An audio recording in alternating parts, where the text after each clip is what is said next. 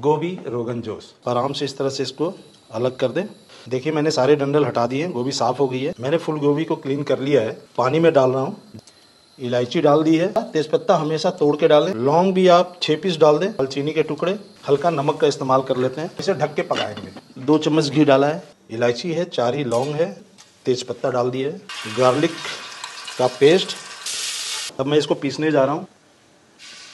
एक चम्मच। सौंठ का पाउडर डाल दिया मैंने। हल्दी ले रहा हूँ, डालेंगे एक चम्मच जीरा।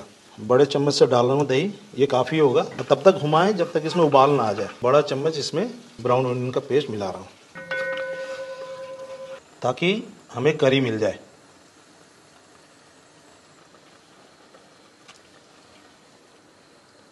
नमक का अंदाज बहुत ज़रूरी है खाना बनाते समय। तैयार है। अब हम इसे सर्व कर रहे हैं।